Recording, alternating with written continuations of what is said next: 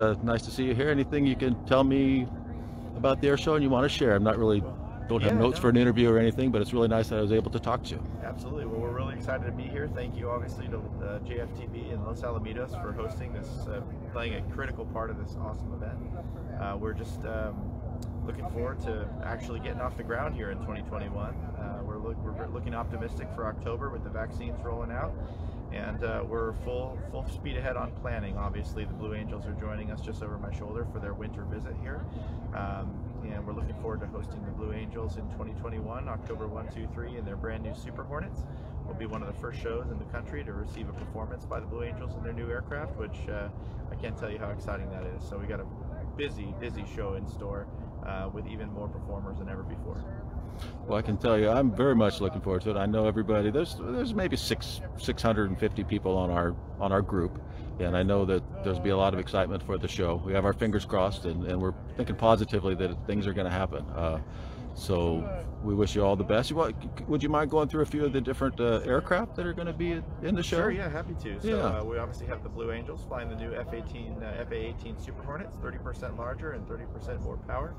Uh, we've got the uh, Canadian uh, Snowbirds coming again in their uh, Tutor jets. Obviously, they're a crowd favorite. They fly 10 jets in formation.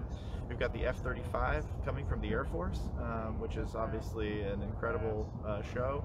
We this year, for the first time, um, we're one of only two shows in this year uh, that I know of, actually, and since I've been in the airshow business, to receive uh, a demo from the uh, the Marines uh, V-22. So we'll have an Osprey here, which will be really Very cool. good. Uh, we'll also have um, lots of other amazing civilian performers uh, and uh, you know additional things to be announced. But uh, the, the what you will most likely have, um, you know, you'll see the likes of Mike Wiskus and his uh, Lucas Oil biplane.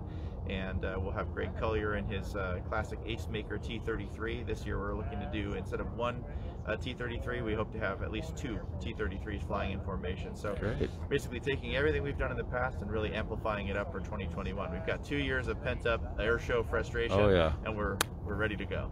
Well, that's great. You know, last year there was a meet and greet here at the Los Alamitos Army Airfield, and I think that went over very well. Uh, do you know, are you planning anything like that? Any more involvement just here on the base? Since it's, you know, the air show's not based here and people can't really see the planes on the ground here or anything. It makes it a different air show, although it is an entirely awesome air show. Uh, I just love it. But can you tell me about any idea? I know with COVID it's maybe different too. Sure. It's a great you- question. Um, our vision is to bring a, a commander's open house as part of the air show, so we would make it open to the public and allow people to come view with the aircraft. That was our plan for 2020. Unfortunately, obviously, it got canceled, uh, pending uh, you know how things go in terms of the health guidelines uh, for for COVID-19. Um, our plan would be to bring that back for 2021. So that would be the Thursday prior to the air show. So it'd be uh, an good. afternoon evening event here. The base would be open to the public.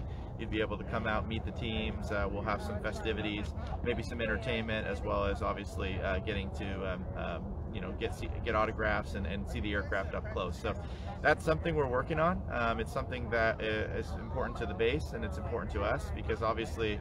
You know, here we are at JFTB. It's a, really a, a crown jewel of Southern California that a lot, a lot of people know is here, um, and they don't know necessarily what uh, you know what the, the, the wonderful men and women who are here are doing, uh, you know, to protect our nation, obviously, and, and to allow us to do uh, fun things like putting on an air show in Huntington Beach. So uh, the relationship we have here with the base is great, and we really want to bring the public out here so they can uh, appreciate uh, this awesome asset that we all enjoy. Well, I love your ideas. It sounds like uh, quite expanding quite a bit what the presence on base here of the air show has been in the past. I know the, the community here, the local community right around the base is very interested and there's a lot of interest in the planes coming and going. So I really like the idea and I'll share that with all the people on our site and you know, try and get some people out here. I don't think that'll, that'll be a problem. Awesome. Uh, I have one uh, maybe request for you. Uh, last year, when planes came in after the air show, more than any other year before, they did flyovers and different things. In the past, they generally just kind of come in and land. I don't know if that was on purpose or if they, you know, it almost seemed like they were having a competition. Each team would come in and do some sort of really nice maneuver. And, and back in 2019, that seemed relatively new. So my request is when you talk to these teams, if you could throw it out there, we would love to see any sort of uh, flyovers when they come in. And the, you know, it's not to take away from people going down to the beach to see things, but it's just usually one flyover, one loop, or one something crazy that really kind of gets to the people that are gonna that are local. Absolutely. and maybe Yeah, they can't can make see- it to the air show. You or, can see under my mask, you can see a big smile, right? Because I'm out at the beach, so I don't unfortunately oftentimes get to see what happens here. But, but uh, you know, I think as, as as the performers build more familiarity with our site and with the neighbors and the neighborhood, I think uh, you know they feel at home here, and uh, those are the types of things that they like to do. Uh, to sort of say thank you, I think, to the local community. So we'll definitely put that out there that uh, we want them to have a good time.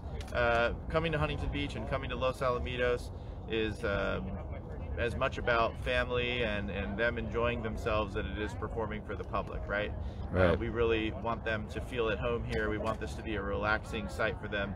Um, and you know these are our, our our finest, right? The men and women who are out there protecting us every day, and so we want to really um, make sure they feel at home. And I think you know part of that celebration here over the overhead at the airfield is, is probably them saying, "Hey, we, we, we really enjoy being here."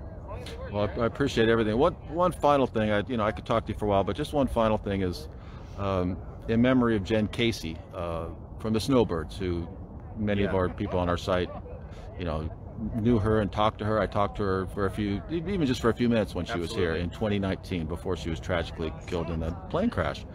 Uh, is there going to be anything to in her memory or even just something right now I, i'm just saying something to in her memory Yeah, now no, because she was such a It's a outstanding person she Jen was really awesome One of the finest aviators that I've ever met. I mean, she was such a kind person.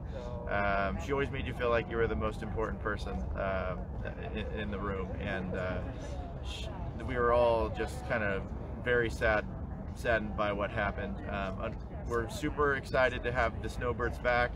Um, but obviously there'll be a, a hole in the place where Jen uh, used to be. So uh, we are going to plan something. Um, whether that'll be public or whether that'll be more private with the team sort of remains to be determined. But uh, Jen's definitely in our thoughts and in our prayers. And um, I appreciate you asking that question because Oh. uh, I think maybe that might be a detail that's lost on a lot of folks, but it's certainly not lost on us. And you can Well. expect to hear more about that.